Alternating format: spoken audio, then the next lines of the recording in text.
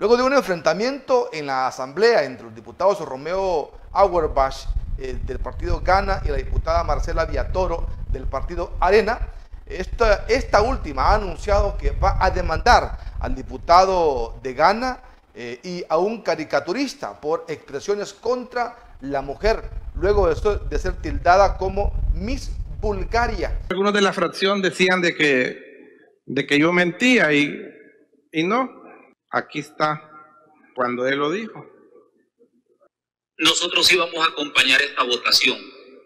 Yo lo que quería acotar, presidente, es que este señor no se cansa que lo hagamos pedazos aquí en esta plenaria.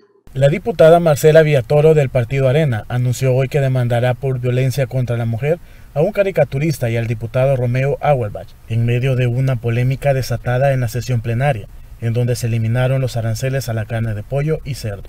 Vamos a comenzar un proceso ante los juzgados de violencia contra la mujer este día. El primero es contra el caricaturista Walex Cartoon y otros, afirmó la diputada en Twitter.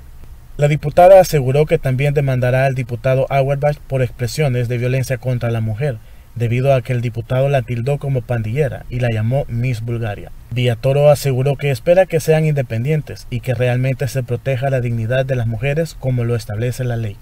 La polémica entre ambos fue cuando el diputado Auerbach aseguró que Arena no votaría por la eliminación de aranceles al pollo y a la carne, luego de que el diputado René Portillo Cuadra dijera que sí votarían, pero que pedía la inclusión de un nuevo artículo. La referencia de Auerbach provocó la reacción de la diputada Villatoro, quien en el Pleno dijo que Paloma informó para ITV Noticias Samuel Barrios.